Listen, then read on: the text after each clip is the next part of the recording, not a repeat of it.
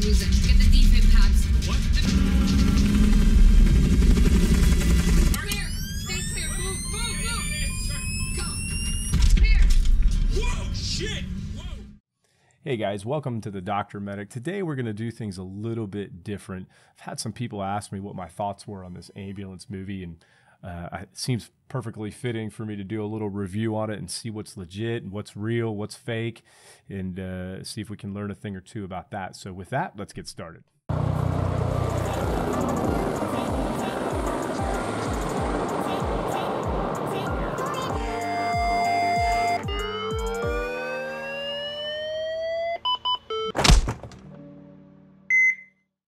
And before we get too far into it, it's important to know that uh, EMS has historically been portrayed uh, highly inaccurate in Hollywood, in TV, uh, in the media.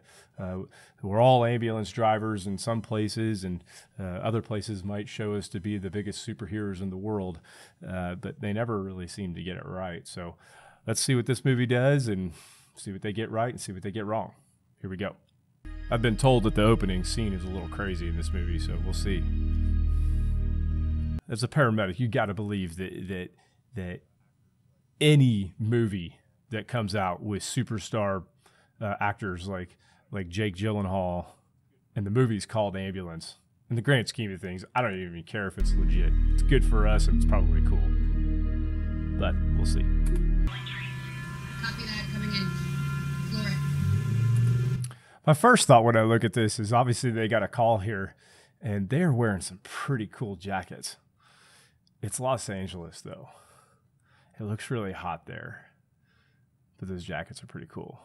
I think she just said floor it. I've never heard my partner say floor it. And if you told me to floor it, I probably wouldn't floor it. But she said floor it. I don't know where she's going. She's go she's going in the back.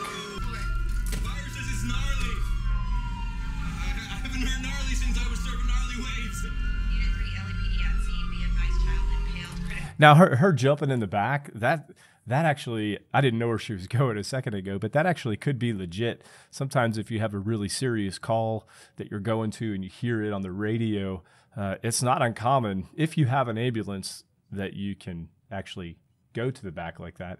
Uh, it, I don't think it would be too uncommon to jump back there and maybe get a couple things prepared for that type of call that you might be going on, which in this case apparently is a gnarly vehicle accident. Does it always sound that bad?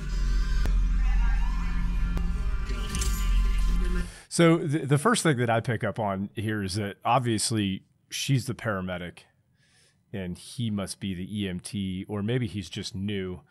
Uh, and in the grand scheme of things, he actually is acting like a new EMT or paramedic would. He's talking a lot. He's got a lot to say, and he's a little nervous about going to the calls. And she's being mean to him. Sounds legit. No matter what, stay focused. Copy on scene. Let's go. Stay clear. So right here, it looks like there, you got you got two vehicles involved, and obviously see this guy on the right in the Infiniti uh, has got himself twisted up in this fence a little bit, and so you know you've got firefighters there who are uh, trying to do some extrication and, and uh, making the scene a little bit safer, uh, and so that that looks pretty right so far. It definitely is L.A. with their um, unique firefighter helmets, so. Uh, it looks like she's got to walk up and figure out how many patients she has, maybe.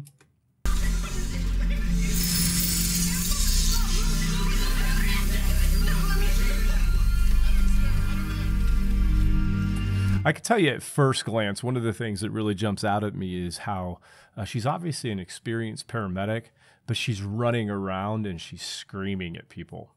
And while she may sound like she's in charge, we don't do that. You really should never be running unless there's some type of safety issue or something like that, or you're running out of the way of a vehicle that's coming at you. But the, you you wouldn't be running around the car like that, first of all. And the firefighters that she's with, they don't work for her. They're part of the same team. So she wouldn't be screaming at them either uh, to do this or to do that. Uh, things would be a lot more calm, at least externally in real life, and they wouldn't be screaming or running around. Looks like the firefighters have uh, some hydraulic tools uh, in their hands, uh, which is super cool. This what you guys might know is the jaws of life. Uh, so they're probably going to try to extricate that kid out of the back of that car. Now I need you to do something for me. Can you be brave? Can you do that? I can be brave. Good. Oh, that kid's so that cute.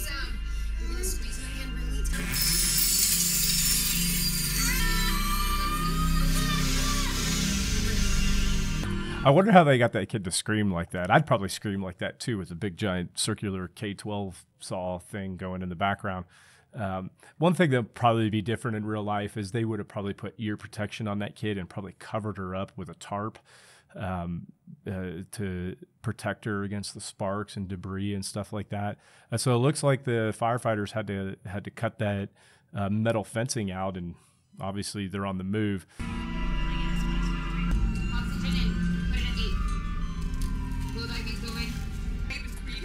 So a second ago, I did say about that fire engine being back there, and that actually would be pretty legit because you can see here the guy who has his glove on uh, on top of the cardiac monitor there. That's a firefighter, and so it'd be pretty common for paramedics on scene that if they have a critical patient or they need an extra hand, uh, to take one of the firefighters off the engine and have them uh, accompany them and ride in the back of the ambulance uh, because as you can see in one of my uh, previous videos i'll post it up here i guess um, you know a lot of the firefighters are either emts or they may be paramedics themselves and so they can be very very helpful in the back of the ambulance and so that fire truck that the firefighter was on actually would have to meet the ambulance at the hospital to get their firefighter back so that they can go back in service. And so that's actually pretty legit.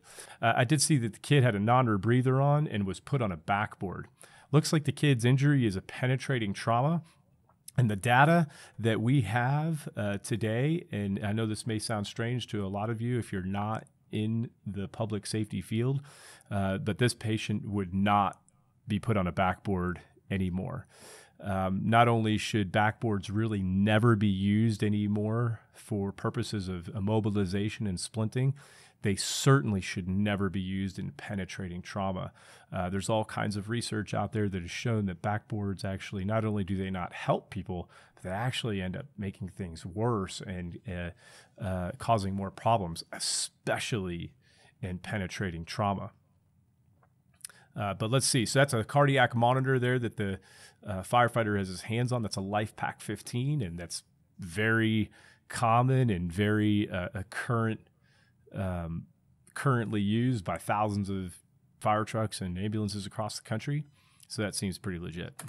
Good job. 30 seconds out from Children's. Let them know to have trauma team ready and hot. We're gonna need lots of blood. Stand open when we do that. Okay, so it is probably true that the there would be a trauma team waiting, and this kid probably does need blood. The one thing that probably, again, the the, the that the data has shown us uh, over the last 20 years is that this kid probably would not need a lot of fluids. Uh, we found that giving a lot of IV fluids to your hemorrhagic uh, um, uh, shock patients, uh, especially in trauma, uh, for a multitude of reasons, is actually uh, not good for the patient in most cases. It can build up too much pressure for clots. It can dilute the oxygen carrying capability of somebody's blood, uh, and it can actually lower their core temperature, with then, which then also makes um, perfusion and oxygenation uh, somewhat of an issue. So, uh, really, we don't blast people with IV fluids in um, traumatic bleeding anymore like we used to. Um, maybe a little bit, but not two liters of fluid and, and, and not for this kid. Okay.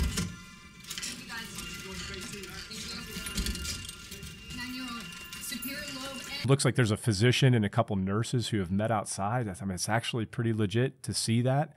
Um, and you might be wondering, uh, it looks right here like the the patient has a um ha- has that uh, that fencing rod still sticking out of her belly, and it looks like it's kind of secured with a bulky dressing of of some sort. And that's actually true. You would not pull that out, uh, especially something of that size. Uh, it very well could be going through an artery. Um, inside that inside that kid's belly but what it also very well may be doing is uh, tamponading or putting pressure on an artery that's cut and keeping it from bleeding. Uh, and so if you pull it out, you might actually make things a lot worse. And now you have some uncontrollable bleeding. So it's actually good that they left it in. Uh, really, the rest of the clothes of this kid should be cut off. Any major trauma kid that's coming into the ER would um, be what we call trauma naked. Uh, and so that's mainly because we don't want to miss any injuries that would be on this call. Uh, but it is Hollywood and it is a kid, so I can imagine why they didn't want to uh, make her naked there on the on the screen. You alright? Is that, is this what your first time was like? I'm starving. I know a good enchilada place. Wanna go? Enchiladas. You're gonna love it. I'm gonna throw up. We've got bark bags. So obviously, you see here that she's a seasoned paramedic, and they're trying to tell you that this is uh, she's just blowing this off. And I can tell you that that that in my experience, uh, that very well could be legit the way that she's acting right there. But by all means, it, it, that's obviously a problem with all public safety. Is is is that uh, paramedics and firefighters and cops might be a little numb to the trauma. So that was tra- that was a traumatic event. Seemed like she did a good job, but it'd be pretty legit for her to blow it off like that and say, "Okay, what's for lunch? Let's go eat." Pretty pretty common, uh, pretty accurate there. Oh man, she's drinking a Heine. Really? You're gonna be on the job? So we're a little traumatized after all. Zero alcohol, dude. Oh, well, she said it's zero alcohol. However, it is not uncommon. Well, I shouldn't say that it's not uncommon. It is uncommon. But there are ambulance services and there are fire services in the United States that will allow their paramedics and firefighters to drink on duty. There's documentation out there that shows that some fire departments might allow one drink uh, per shift or two drinks per shift. And then there's other places that, that might say, well, you can have alcohol on shift. You just can't have a blood alcohol level of above 0.04. It actually does, it does exist. And uh, that's a whole topic for a whole other d- discussion, but it's pretty rare. It is uncommon for that to happen. Um, but apparently hers is a non-alcoholic. Uh, uh, the, the the visual uh, the visual of that probably doesn't look very good. So there's probably rules at these places. I don't know if you can really go out and drink in public. Uh, if if you're at one of those places that allows the drinking, uh, if you work at one of those agencies, definitely give me a comment below because I would want to know at the agencies that do allow you to have a couple drinks on duty, are you allowed to do it in public? I don't know. From Dispatch. Little girl from earlier, Lindsay. She's gonna make it. No, Scott, I don't wanna know. That's why I wanna do this job, you know? Scott, Scott, I'm gonna give you some advice because you're new and you talk too much. Yeah, I do. It's just a job, nothing else. You pick him up, drop him, forget it. I'm surprised she didn't say you call we haul because that's what a lot of paramedics in the United States say uh, because we're obligated to transport patients um, if if if they want to go. But man, this dude is acting exactly like a new person would. Uh, he's being polite and he's being respectful, but he's kind of annoying his partner, uh, and it looks like she's kind of set some ground rules, which is or set some expectations. Um, maybe she's a little mean. That's not really good, but it does happen. All right, you get one question a day, that's it. Boyfriend. Do you have one? Of course, you're gonna ask that. Yes, I have a boyfriend. He's a doctor at Mount Sinai. Of course, he's a doctor at Mount Sinai. Never heard of paramedics dating doctors or anything like that, or paramedics dating paramedics, or nurses and paramedics. It's weird how that happens. Hmm. I'd say that's pretty legit, though. Wait, we're on the go. Let's go. Scott. She's running again. Lots of running. What a coordinated skid move.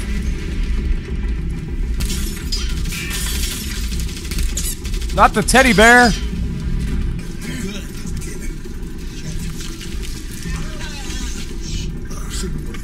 Oh man, that's tasty. Dude, what did you do to my legs? You gonna ask her out? Zach! Dude's dying, and he thinks the way to bring him back is to talk about the hot girl he's trying to ask out. Probably bring me back. Makes sense. In the leg! There she is running again. Any other gun wounds? I, I don't know. Are you sure? I don't know. No exit. Probably got the femur. So it looks like she's uh, she's doing what she should be doing. Is she is uh, um, recognizing that this guy is not dead yet, and that he's awake, and that he's got uh, some type of uncontrollable bleeding coming from his left leg, and um, going straight to a tourniquet, and that looks like a cat tourniquet, which is a brand name, um, but it's an orange one. And I'm pretty sure that the orange ones are marked for training purposes only, and an actual cat tourniquet they would all be black. Uh, but she's got an orange one, high visibility, but I think it's a training one. Shed me light. Shed me light. Over here. What's his name? Zach. Okay. Give me this. Give me this. And for all you EMTs and paramedics out there, she put that thing high and tight, which is right where it's supposed to be. Not two inches above the wound, high and tight every time. Buddy. Come to me. Zach. Hey, buddy. Come to me. Let's carry him up. Us. I've done a lot of things to try to stimulate patients, but I've never hit them and slapped them. Maybe I've wanted to, but I've never hit them and slapped them. Uh, there's other ways to try to arouse them and ma- see see see whether or not they're awake, but it's a little aggressive with the with the slapping there. One, two, three.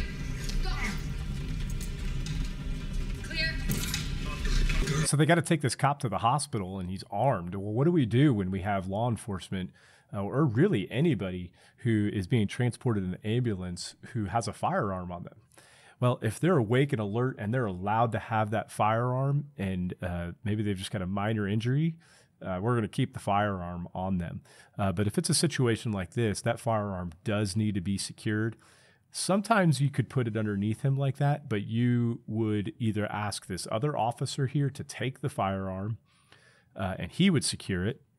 Uh, and if you didn't have another officer there, uh, a lot of paramedics are pretty good with guns. Um, that gun would need to have the magazine removed and the the, the round removed from the chamber, uh, and you can secure it in a safe. Every ambulance is going to have a safe where they control or where they store their controlled substances like morphine and fentanyl and stuff like that, uh, and you can put it in there. Uh, but you're I can't imagine that you'd take a hot hot firearm and just sit it underneath the the cop who's about to die.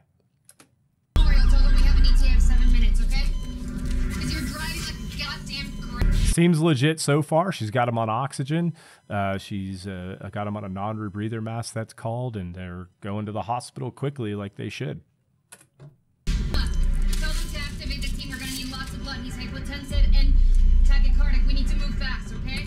Sounds legit. He's hypotensive. That means his blood pressure's low, and he's tachycardic. That means that his heart rate is high, and these are signs of, uh, of shock. Uh, uh, and it's a sign that um, he's losing a lot of blood, and his his body's struggling to compensate for all that lost blood. So that makes sense. Get out now. Damn, there's a guy with a big fucking gun pointed at me right now. Wasn't a question. Get out now. Will, get the paramedic's jacket. You drive. He's not a paramedic. He's an EMT. Just make sure everybody's aware of that. Hey, hey, hey, buddy. What happened? Hey, what happened? Where's the ambulance? What happened? He hit me in the face with a gun. That's what happened. It's my first day. Damn. Ooh, helicopters. I like helicopters. That's an AStar 350. I think there's two of them in this movie. Oh man, that sucks. Take a look at her right glove there. It's covered in blood. That looks pretty legit. It looks pretty legit. Keep paying attention to that glove though. Uh oh. I don't know. Something happened to her glove all of a sudden. Uh, obviously, that was a, a, a goof on the on the director's part there, but nonetheless, uh, a broken glove like that happens all the time, and that is very, very common uh, to see that. And then you've got blood and guts and poop all over your hands. Uh, but it wasn't broken a second ago. That's weird. Hey, wake up! Wake up! Hey, hey! Come on, Cam. Let's go. It's not cut anymore, is it? Fuck Yeah. Ah! You. It just started bleeding. Speak them. So she just said he's in VFib. And you might be wondering why she just hit him. That's actually something that can happen. It's, it's called a precordial thump. If somebody's in pulseless VTach or ventricular fibrillation, which are two rhythms that would actually get shocked by a by a defibrillator or an AED, uh, there actually um, has been some documented cases that if somebody uh, you know, thumps them hard enough on the chest that it can uh, trigger a, a, a depolarization of a certain cardiac cell to kind of um, get their get their heart rhythm back into what we call like a normal sinus rhythm of some sort. Uh, I've never had it work, uh, but it's still an accepted use, and that, I think that's what she did. I don't think she was mad. I think she precordial thumped him to try to fix his heart because she said he's in VFib. I don't know what happened. It just started beeping. He's about to die. Cash! Word to the wise if you're doing CPR on somebody, they're already dead. Otherwise, you wouldn't be doing CPR. You're doing CPR because their heart stopped. So they're already dead.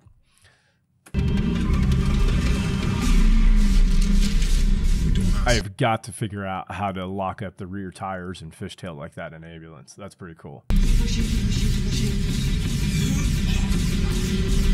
So it looks like she's preparing a, what's called a pre-filled syringe of epinephrine, otherwise known as adrenaline.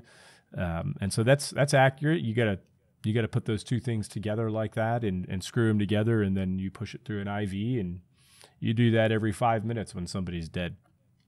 Pretty legit. Woo! Bumpy. In case, in case you're wondering about Falck EMS, that actually is a real ambulance service. Uh, they are a massive organization that actually uh, does international um, across uh, several different countries, but they're actually really big in Southern California and even some parts of Northern California.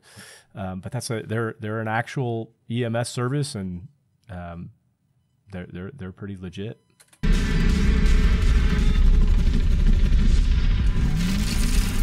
How'd they get that shot? That's cool.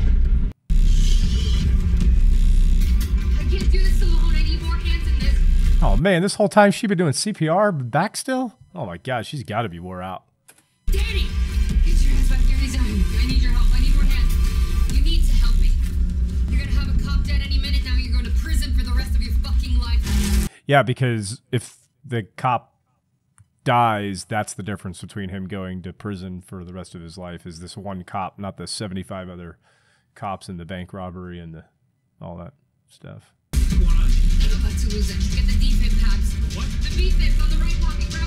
So she's been doing CPR this whole time, and it, it, it sounds like he's still in VFib.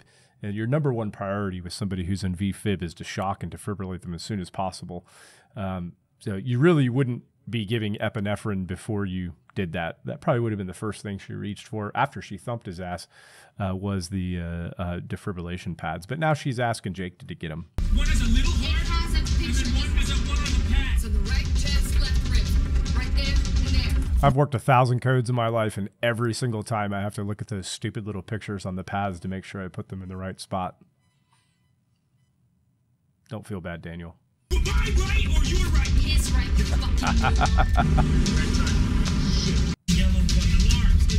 She told him to charge it to 300, which you could do. You- you- you- It normally that's not a normal place to start. You would normally start at 200 and then do 300 and then 360, or you would just start at 360, or you would just do 200 over and over again. But you normally wouldn't start at 300. Maybe she's already shocked him once. I don't know. But that is definitely ventricular fibrillation on the screen. That's definitely a LifePak 15 monitor, and um, they got good battery life up there too, so that's good.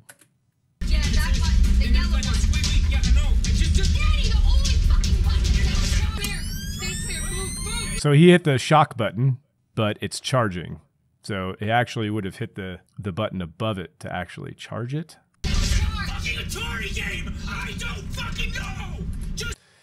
So he's actually going to hit that big red button is the shock button, like shock.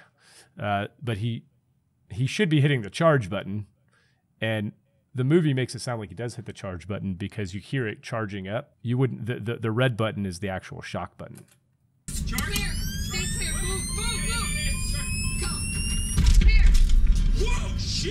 When you defibrillate people, they really do jump out of the bed like that. It's legit. It's a little scary, but it happens. We just zapped him. We did that shock shit. We did that shock shit.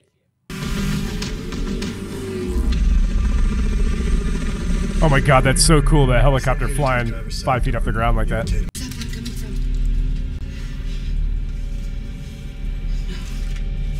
If you would have cut his clothes off like you were supposed to with that girl at the beginning, you'd see where the blood was coming from.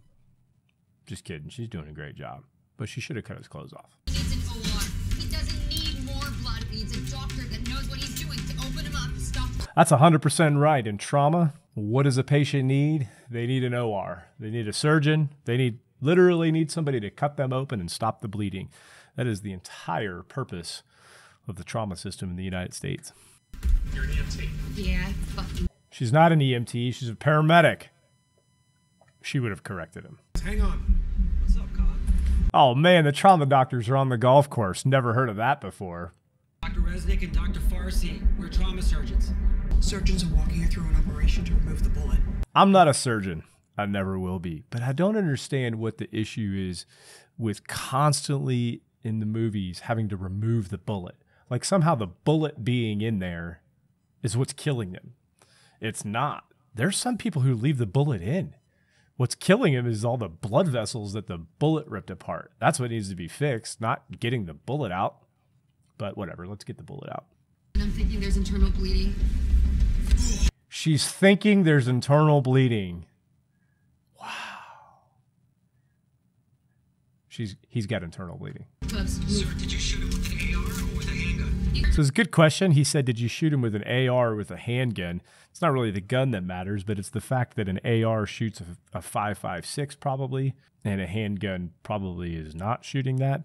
Uh, so you, if you're shooting a handgun is a 380 or a 9 millimeter or a 40 caliber or something like that, um, those those are deadly rounds, but they don't have the velocity that a that a 5.56 round coming from an AR would. And so that does tell a trauma doctor and it should tell a paramedic really how much internal damage is there's going to be in there right uh, the force of any moving object is dependent upon the, the speed uh, as well as the mass of that object uh, but speed is is um, exponential and so the faster something's going uh, the more damage it's going to cause and so that's why he's asking was it a handgun or an ar-15 Then take the scissors. Need you open him up, open the skin. Well, those aren't scissors that's a scalpel I'm going for the Oh, oh, those are some scissors. Those looks like some. Uh, those look like the famous Leatherman ones that everybody buys and loses. Uh, but that's pretty cool. Okay, I'm cutting. Cutting skin. Ooh, Skin is open. Then you and your criminal friend right there put both of your hands in the wound. ow! Sounds like it's gonna hurt. Heart rate's down at forty. That looks like a sinus rhythm at forty. And if you have a trauma patient at this stage in the game who's Brady down to forty beats a minute, that dude ain't gonna make it. He's uh, he he he ain't gonna make it. But it's a movie. Let's see what happens. Oh no! Oh! What are you He knocked him out. Almost got it. I almost got it. It's, Oh! it burst. It burst. God, what do I do?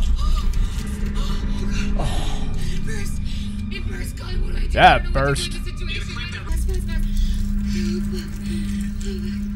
I like the idea, but that hair clip is not gonna secure that artery. But I like the idea. Does your wife know you're Rob Banks? Hmm. Why you asking? Situational awareness. Oh my God, Eiza, situational awareness. Talk dirty to me, girl. Woo! I got addicted to speed. Of course you did. So, Addicted to speed. What about cop? Oh yeah, let's get it.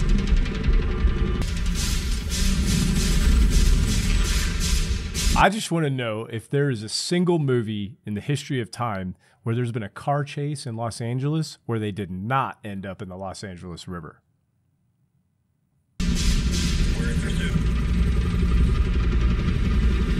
Oh, so cool. Oh man, there's two of them.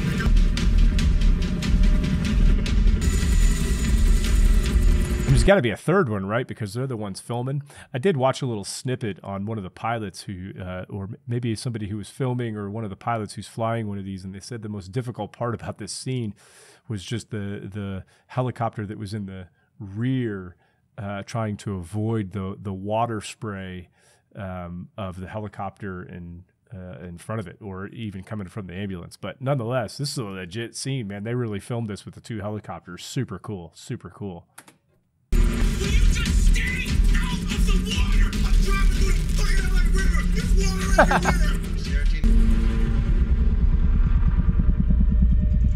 That's cool. Why is this cop back here driving the wrong way? Don't he know that the party's going the other way? He's lost. Cops. Was your was your hand in my stomach? Like way in. Like way in.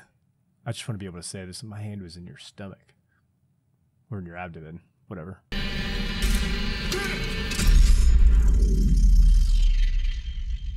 Oh man, you shot the wrong dude. Ugh.